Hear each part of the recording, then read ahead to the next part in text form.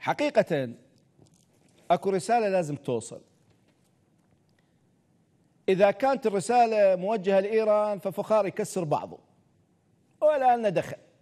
هم أمريكا وإيران. إذا إذا مع أنه الكثير وأنا أعلنتها على مدى عشر سنين كل مرة أكررها لأنه هذا المصدر من معلومة من مصدر أو مصادر سيادية دولية.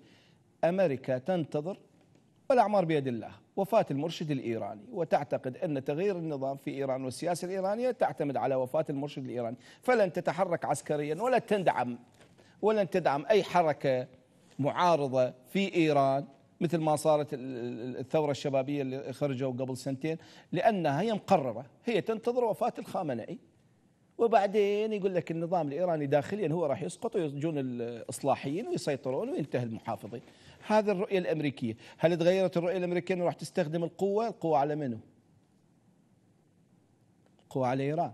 مو أقول لكم صار 40 سنة نسمعها اي إحنا اللي يهمنا عراقيا شنو؟ اللي يهمنا عراقيا اولا خل تفهم كل الميليشيات إنه زمن الميليشيات انتهى. نقطة راس سطر. انتهى. انتهى. انتهى. فعلى الميليشيات أن تحل نفسها. هاي نقطة راس السطر. اثنين على حكومتنا أن تدرك أن لعب الوسيط لم يجدي بأي بأي هدف عراقي. الآن مصالحين إيران والسعودية مصالحين وزير الخارجية الإيراني البارحة يقول الخليج الفارسي وزير الخارجية السعودي ما رد عليه. ما قال له لا الخليج العربي. والله الله يرحمك سعود الفيصل. لو كان الأمير سعود الفيصل كان قال له عن إذنك الخليج العربي وروح اسأل التاريخ. بس الله يرحم الأمير سعود الفيصل.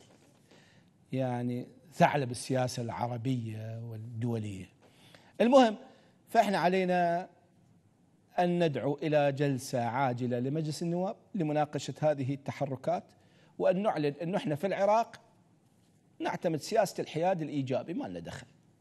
إي والله شكوا بها نعلن إحنا إذا كان تحرك ضد إيران خلي يضربوه من غير مكان. شنو ندخل؟ إذا إذا إذا. مستحيلة يعني. 40 سنة اسمعها لكن إذا كانت رسالة للداخل العراقي فعلى الداخل العراقي أن يفهم هذه الرسالة إنه زمن الميليشيات انتهى. وعلينا أن نكون بزمن مختلف وأن يكون العراق قاعدة توازن دولية وليس صراعات دولية. هذا اللي عندي. حقيقة.